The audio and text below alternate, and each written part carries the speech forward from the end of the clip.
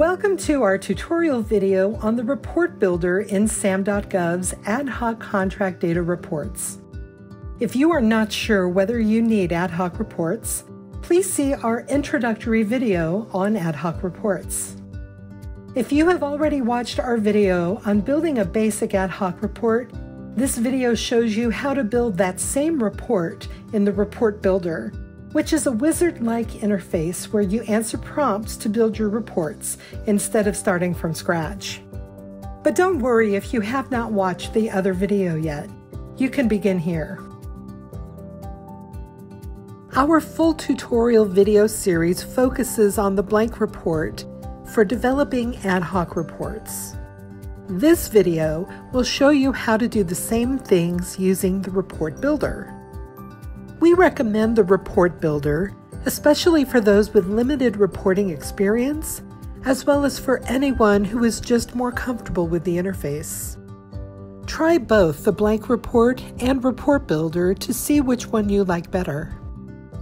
In this video, we will create a report for the use case of pulling PIDs that meet specified criteria, and in doing so, we will cover the reporting interface, filtering, and adding data to our report. For this report, let's say that we have received the following request. We would like to see all base PIDs where the modification number is zero for four vendor DUNS numbers that have a base and all options value or total contract value between $50,000 and $250,000. We want this information for fiscal years 2011 through 2016. Let's get started. We will begin on the SAM.gov homepage. Before beginning, ensure that you are logged into your SAM.gov account because this is required in order to access the ad hoc reporting capabilities. Once we have logged in, we are ready to get started. We get to the tool for ad hoc analysis and reporting by clicking Databank located in the header menu. Under Show Reports For, make sure Contract Data is selected, and under Report Type, select Ad Hoc. Now select Award IDV Information Report.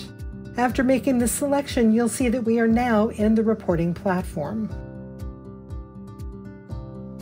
By making the award IDV information report selection, we were brought to the My Reports folder.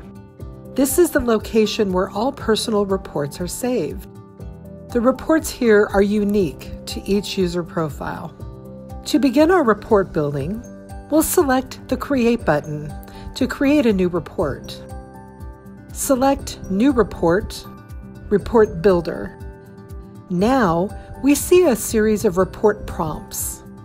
A prompt asks the end user a question at runtime to pre-filter the data that we will be examining. We know that we want data for fiscal years 2011 through 2016.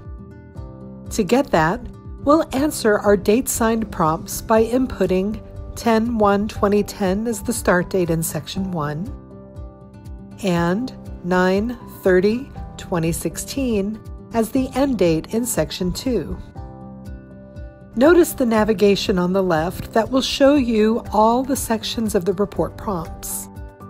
We can use that navigation to click through the sections or just scroll. The dates in Section 3 and 4 can be used instead of or in addition to the dates in Sections 1 and 2. Remember, the maximum range of time that can be returned in a report is 12 years.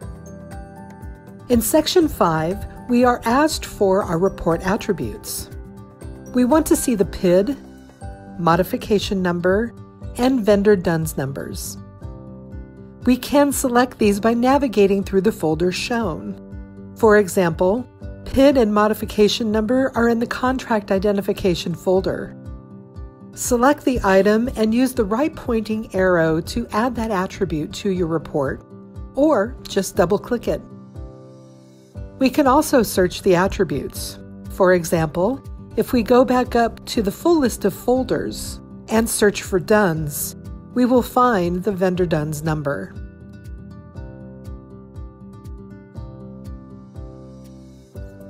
In Section 6, we add our metrics to the report.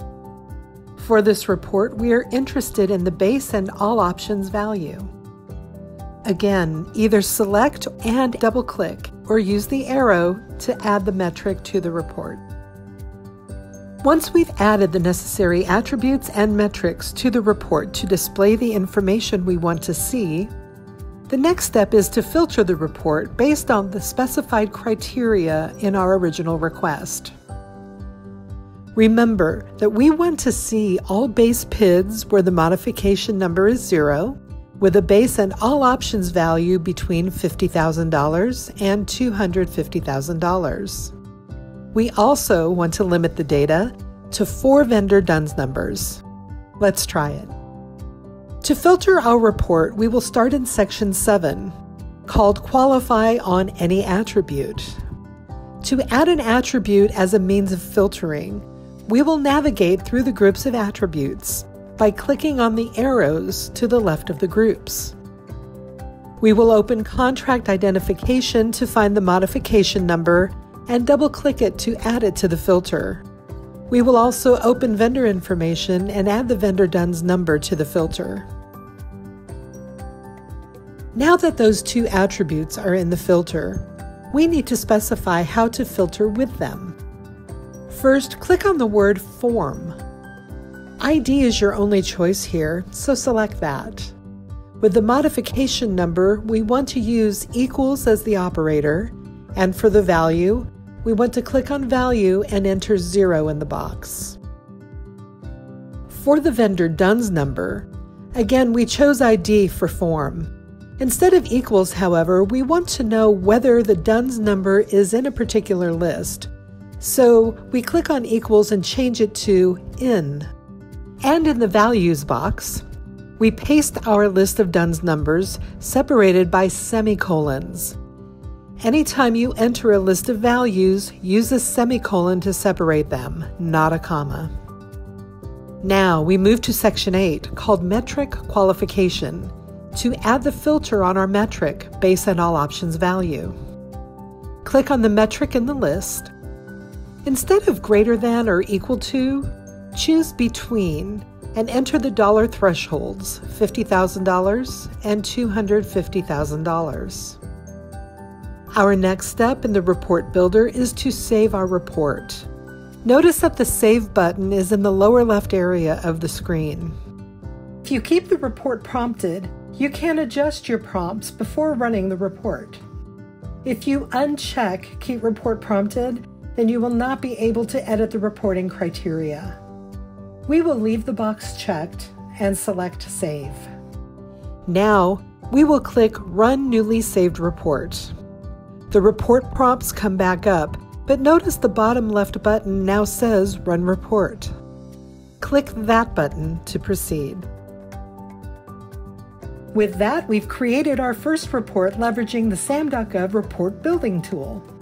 Thank you for watching this video on ad hoc contract data reports using Report Builder. For more information, please visit the contract data page linked from the SAM.gov homepage. Remember, you can search the Federal Service Desk knowledge base for additional videos and frequently asked questions, or get help with technical issues at fsd.gov. To provide GSA feedback about features, functionalities, or the user experience in SAM.gov, click the feedback button located at the bottom of each page.